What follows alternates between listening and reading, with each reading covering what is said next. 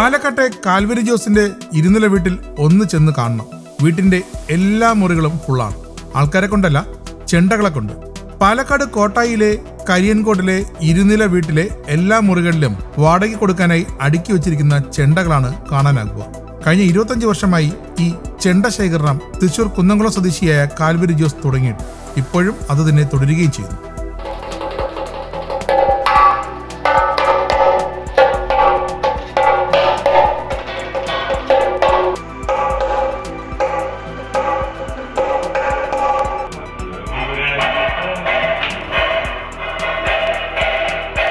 തുടക്കത്തിൽ രണ്ട് കീബോർഡ് വാടകയ്ക്ക് കൊടുത്ത് മുന്നോട്ട് പോകുകയായിരുന്നു ജോസ്. പിന്നീട് അതിൽ നിന്നുള്ള വരുമാനമെടുത്ത് വായ്പയും എടുത്ത് ചെണ്ട നിർമ്മിച്ച് വാടകയ്ക്ക് കൊടുത്തു തുടങ്ങി.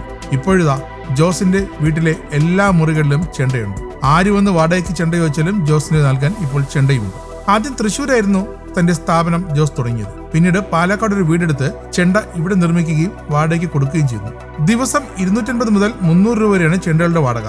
സീസൺ സമയത്ത് കലാകാരന്മാർ ഇവിടെ തേടിയെത്തി ചെണ്ടകൾ വാടകയ്ക്ക് കൊണ്ടുപോകാറുണ്ട്. നല്ല വാദ്യ കലാകാരന്മാർ ഈ മേഖലയിൽ ഉണ്ടെങ്കിലും സ്വന്തമായി ആർക്കും അധികം ചെണ്ടകളില്ലാത്തതിനാലാണ് ജോസ് ഈ ഉദ്യമത്തിന് തുടക്കം കുറിച്ചതും. ഉത്സവ സീസണായാൽ ഏതാണ്ട് ഇരുന്നൂറോളം പരിപാടികൾക്ക് ഉപയോഗിക്കാൻ പറ്റിയ ചെണ്ടകൾ ജോസിന്റെ പക്കൽ ഇപ്പോഴുണ്ട്. ശിങ്കാരിമേളം ചെണ്ട തായമ്പക പഞ്ചാരിമേളം എന്നീ ആവശ്യങ്ങൾക്കുള്ള ചെണ്ട ഇവിടെ നിന്നാണ് കൊണ്ടുപോകുക തമിഴ്നാട് കർണാടക ഗുജറാത്ത് ആന്ധ്രാപ്രദേശ് മഹാരാഷ്ട്ര കർണാടക തെലുങ്കാന എന്നീ സംസ്ഥാനങ്ങളിൽ വിവിധ ആഘോഷങ്ങൾ നടക്കുമ്പോൾ കലാകാരന്മാർ ഇവിടെ നിന്ന് കൂട്ടത്തോടെ ചെണ്ടകൾ വാടകയ്ക്ക് കൊണ്ടുപോകാറുണ്ട്. പ്ലാവ് മരം കടഞ്ഞെടുത്ത കുറ്റിയാണ് ജോസ് ചെണ്ട നിർമ്മാണത്തിന് ഉപയോഗിക്കുന്നത്. തോലായി ഉപയോഗിക്കുന്നത് കാളയുടേതും. ഒരു ചെണ്ട നിർമ്മിക്കാൻ കുറഞ്ഞത് പതിനഞ്ച് ദിവസമെടുക്കുമെന്ന് ജോസ് പറയുന്നു.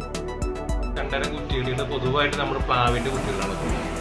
പ്ലാവ് അതുപോലെ തന്നെ കുമിഴ് പല മരങ്ങളും ഉപയോഗിക്കും. പക്ഷെ ഏറ്റവും സിമ്പിളായിട്ട് ഇപ്പോൾ ഉപയോഗിക്കുന്നത് പ്ലാവിന്റെ കുട്ടികളാണ്. പ്ലാവിന്റെ വെള്ള കളഞ്ഞിട്ടുള്ള കുട്ടികളാണ് ഇതിന് പൊതുവായിട്ട് ഫസ്റ്റ് കോളിയിൽ ഫസ്റ്റ് ക്വാളിറ്റി ചണ്ടയ്ക്ക് വേണ്ടി ഉപയോഗിക്കുന്നത്.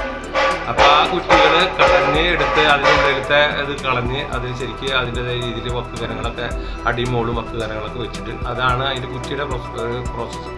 അത് കഴിഞ്ഞ് കഴിഞ്ഞാൽ ഈ വട്ടങ്ങൾ വെച്ചിട്ടാണ് പിന്നെ നല്ല കയറ് വേണം. ഈ സാധാരണ പവർ കാർവാർ എന്നൊക്കെ പറയുന്ന നല്ല കമ്പനികളുടെ കയറുകൾ വെച്ചിട്ട് വേണം ഈ ചണ്ടയ്ക്ക് ഉപയോഗിക്കുന്നത്. ക്വാളിറ്റി കുറഞ്ഞ കയർ വെച്ച് ഉപയോഗിച്ച് കഴിഞ്ഞാൽ ഈ ചണ്ടയ്ക്ക് പെട്ടെന്ന് ലൂസ് സംഭവിക്കും. വെയിലത്ത് വരുമ്പോൾ ഓട്ടോമാറ്റിക്കലി ഈ കയറിന് ലൂസ് സംഭവിക്കും. അതിന്റെ ശബ്ദത്തിൽ വ്യത്യാസം വരികയും ചെയ്യും. അപ്പോൾ അതുകൊണ്ട് ഫസ്റ്റ് ക്വാളിറ്റി കയർ വെച്ചിട്ടാണ് സാധാരണ ചണ്ടയ്ക്ക് ഉപയോഗിക്കുക. അതുപോലെ തന്നെ പതിനൊന്ന് കുത്തുവാറ് അതിന്റെ ചുരുക്ക് എന്ന് പറയും. അത് അതിന് വേണം രണ്ട് വട്ടക്കണ്ണി വേണം. പിന്നെ ഇതിൽ പ്രധാനമായിട്ട് ഇത് ചെണ്ട സെറ്റ് ചെയ്യുന്നതാണ്. ഇത് ചെണ്ട നമ്മൾ സെറ്റ് ചെയ്യണം. പല ഘട്ടങ്ങളിൽ കൂടിയാണ് നമ്മൾ ഇന്ന് കാണുന്ന ചെണ്ടയുടെ ഒരു കൊട്ടാവുന്ന രൂപമാണെങ്കിൽ ഇതിന് മിനിമം ഒരു അഞ്ച് ആറ് ഘട്ടങ്ങൾ നമ്മളിത് പണിയെടുത്തിട്ടാണ് പിന്നെ ഈ രൂപത്തിലേക്കായിട്ട് വരുന്നത്.